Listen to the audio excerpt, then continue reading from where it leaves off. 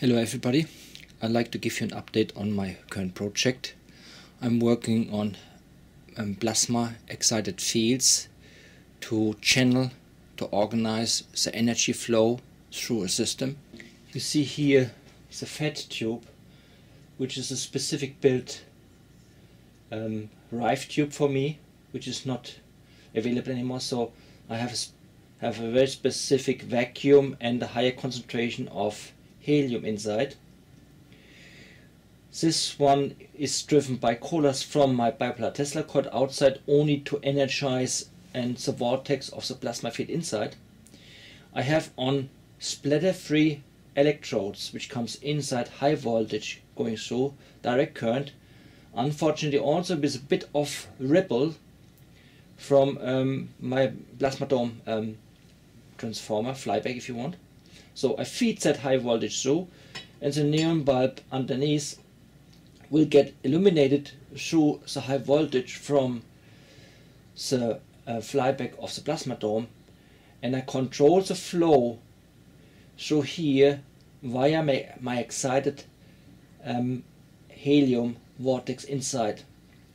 So we'll go through a couple of things. So that is a preliminary experience as a kind of proof of concept which I know will work and I can show you how it works but that's only the very beginning. Every energy system currently in an alternative energy scene is based on that subject. You have one waveguide or wave or a, a center frequency and you add additional frequencies to match it up that, that you have then on your so-called output coil or whatever mechanism you have, you have um, a gain from the ambient energy field. So we do the same here. The positive part of it, of the plasma field, is that that is completely flexible. Not in that construction here. However, I get a complete vacuum system um, with whom I have various materials of tube um, containers. So I have quartz, I have pyrex, different size as well. I can use electrodes without electrodes. I can add colors as well and I have a coil pickup system. I have various noble gases. Actually I have all of them. So we start with helium. We go over to um, argon, krypton, xenon. If you want also five noble gases in various concentrations, I will test them so there will be specific setup where I have um, um, a high concentration. And I will also have a specific amplifier section currently not in use, which will add various frequency modulation, demodulation, FM and AM modulation to the wave frequency and that will be a long-term process to understand the best energy flow to the construction. So that gives you only an idea of what I'm doing currently. That work will be done in collaboration with others. So because it's very complex, so I cannot do that completely alone. However, also components built for me, I instructed already they are on the way. I will have them very soon and I can start building. Now let's get started. I have started up now the high voltage DC with the ripple feeding through the plasma tube and I'm starting up here at 8 9 kilohertz and you can see that there's an influence of the plasma field already visible as an overlay um, through the ripple of the system. So I go up in the frequency and see how it first aligns. Um, there is a marginal change here valuable to see and um, the current um, is at certain frequencies also higher. But what you will notice here is that the overlay or on the ripple waveguide if you want that the influence is not that strong. So that will become apparent later on when I increase the power. So I go up here in the frequency range.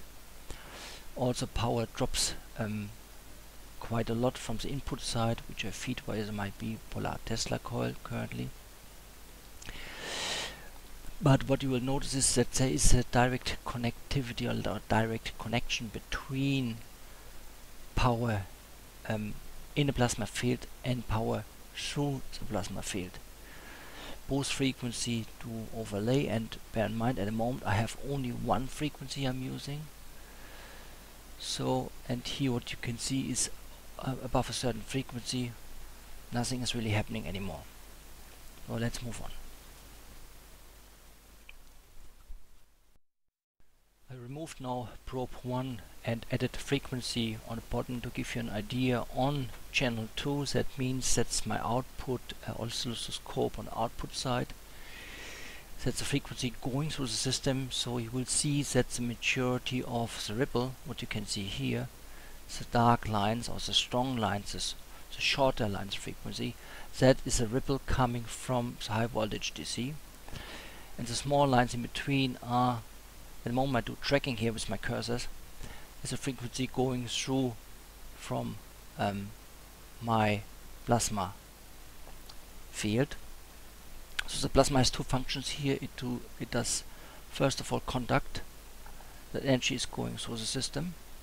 That's one function. And the second function is that the plasma becomes excited via an external frequency range.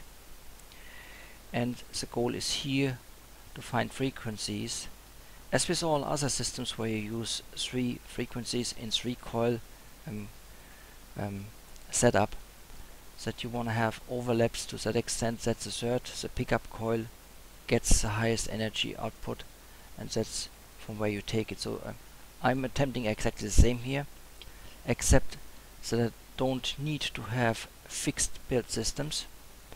So I'm very flexible here so the flexibility margin here is extremely high because the plasma will be completely configurable. That is equivalent of having a coil which can be changed on the fly with turns, thickness of wire, space between um, the wires and so on. So that's what the plasma fulfills here. So we have a wide range of possibilities to deal so what you see here, if I go up at a specific frequency over 200, nothing much happens anymore. Okay, the current goes up, plus, but also please bear in mind there's a lot of uh, radiation in electric field from the bipolar Tesla coil, so that's not all from system. So there's nothing really happening here anymore. But let's move on to higher input power. So aligning now the input power to the level set the ripple becomes um, an energy feed which is highly influenced by the plasma field. So that is achieved here unfortunately at a lower frequency here at 26 kilo kilohertz. It's around 40 watt, so it's a lot of power in there. So that becomes more efficient. But you will see here that I create ghost images. So the ripple becomes highly influenced now via uh, the electric field from um, the bipolar coil via the two collars and it becomes very very interesting when we go up in the frequency range. The power output is much higher as well and one of the interesting um, uh, phenomena you will see here is that so-called ghost images um, exist that you have two three waves here we have now a double wave coming in here. The frequency is still the same. Please bear in mind, nothing has changed in the frequency. I have only additional kicks but they are not visible as an additional frequency. It's still the same frequency, but has a much higher output because they count as kicks, if you want. So it's a bit difficult to, to understand that. But if you look at that, you will, um, when we go further on, it looks a little bit like a DNA, um, which is inter intertwined to each other with many, many strings. So that's similar what happen what's happening here. You have at a various frequency range we have an overlap of many many um, mirror images until they become complete autark and create its own new image. So we have two at the moment here I show three and the goal is to have an infinite number of kicks if you want. So bear in mind I'm only at the beginning here with one frequency so that's what I can only as a proof of concept show you what's gonna happen. Here I have now four. So these four are quite strong. So that has an impact what you can't see at the moment had an impact already on the brightness of the fluorescent bulb. So the energy through the plasma is already influenced by the vortex within the plasma field. That the energy is accelerated out. However, and that's interesting, it is not indicated that there's a uh, frequency change. So there's something completely outside happening and I will have to use additional measurement um, mechanism to track this kind of information as well but I will go later on to that stage to identify that and to show that moving up in a frequency range now. I come then to a very very interesting um, phenomenon where when the system becomes completely autark at the moment it's aligned because it's in around the 90 kilohertz range. That means it's again on the odd or odd of the frequency of the 30s if you want. That means I have only the ripple along the waveguide if you want. And that has also an influence that the um, output power is low but now what you see very very beautiful. I have now four waves completely nicely mirrored and they are very very strong. So the fluorescent bulb is very strong at the moment lit. And you see the, the, the violet line underneath is a pickup um, um, probe from which which runs above the fluorescent bulb. So again here I'm aligned on a frequency and I'm following only the waveguide 120 kilohertz. Moving further up. So the phenomenon is still the same above 300 400 500 kilohertz. Nothing is happening here anymore. But here what you can see here I can show you the identical transmission line reflection. So the dark line here is the waveguide coming from the high voltage through and the thin line here is a reflection coming via the plasma. So that's the thin line. It is not that intensive, but that's a reflection of the plasma field coming through. So that's the traditional reflection of a transmission line here, which you normally want to avoid, because that means loss of energy, and that also means that your amplifier stage is in harm's way. We don't want that. We don't want to have any reflections. We want to capture them all for the output. Going further up, nothing much happens anymore. Of course, as I said before, the current will increase, but that does not have any influence. So when you see here 125, 130, alone 80 offset or 70 offset is based from the field, which comes from the bipolar Tesla coil. Moving on. I want briefly demonstrate what happens when you switch off the plasma excitation field. So you see the plasma above. So high voltage is going so. You see on the oscilloscope the four aligned waves. It's 12 watt in, switching off. You see a standard ripple. So it's a third of power only going into the fluorescent bulb, switching it on again.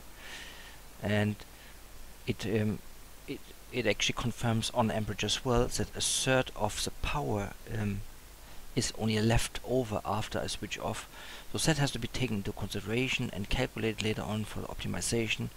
That needs to be precisely measured for output power and precisely measured for input inclusive the input power on a plasma field for creating this vortex.